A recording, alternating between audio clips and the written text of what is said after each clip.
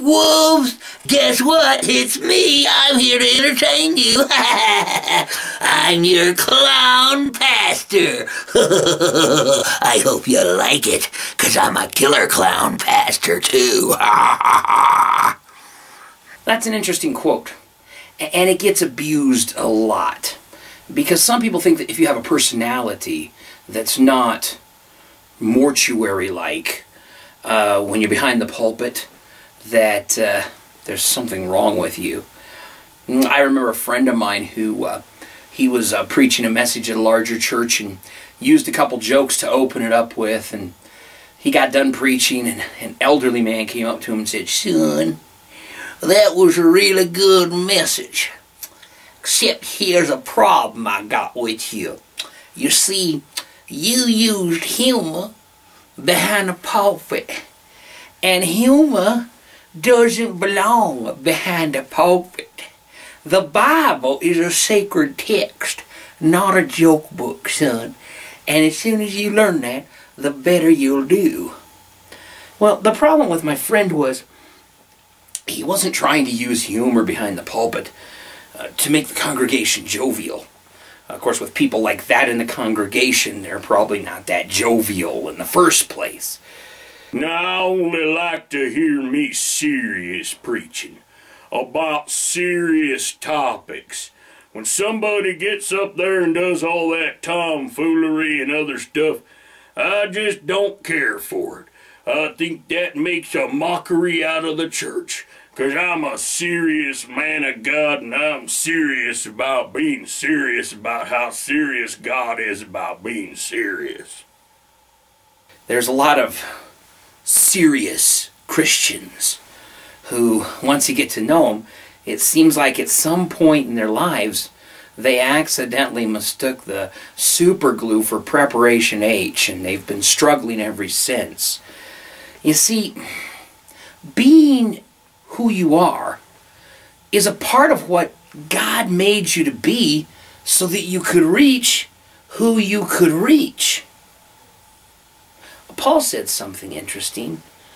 He said that when he's in Rome, he lives like a Roman so that he can reach Romans. And when he's with the Jews, he lives like a Jew so he can reach Jewish people. And when he's with the Greeks, he lives like a Greek. You see, he becomes all things to all men that he might reach some. Get into the Word. Get into the Word. The Word of God is good for you, so get into the Word. There's a lot of different types of people. And you're not going to reach every type of person. At the same time, if you're not reaching anybody, it might not be because the fact that the Holy Spirit is purging your body and your church, and you're a very serious warrior of God, and the devil is coming against you. The problem could be that maybe you're a jerk, or maybe you're so high and holy you really can't reach common people. The thing that bugs me about the kind of people that go around quoting the whole shepherd and clowns quote is the fact that a lot of them are judging other people based on their preferences and not the Word of God. Somebody could use humor, somebody could use illustrations, somebody could use a bunch of different means to communicate the genuine message of the gospel. There's no problem in that. Somebody could very seriously and very soberly communicate heresy. There's a huge problem there. You see, it's not the style with which you communicate.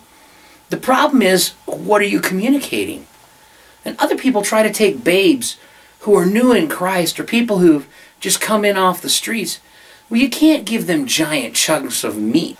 You wouldn't flop a sirloin steak on the tray of a baby's high chair and go, here you go, buddy. Enjoy. You give babies baby food. You give them something that they can digest, something that they can actually swallow, something that somebody with no teeth can chew. And so sometimes people get criticized for being really light, or uh, some people criticize ministers by saying, Well, I don't like him because he's not teaching the meat of God's word. He's just teaching fluff. But fluff is all that some people can eat. Hopefully, the more they get into it, the more they're going to want the meat of God's word. But until they get to that point, they need some kind of introductory course. Hi, I'm a shepherd.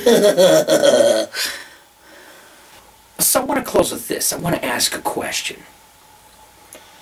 You see a, an adult with a toddler in front of them. The toddler's sitting in a high chair, and the toddler is refusing to eat. The adult says, Come on, please, please, please eat the applesauce. Please, you're driving me nuts here. The toddler's like, mm, mm.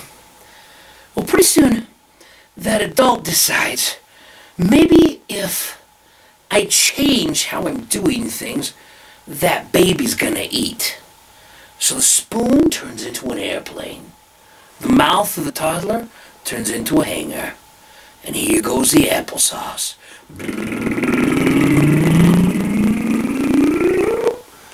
And the baby. ha! It goes in. The baby swallows and eats. Now, let me ask you a question. When a parent does that, are they trying to entertain their child or are they trying to feed them?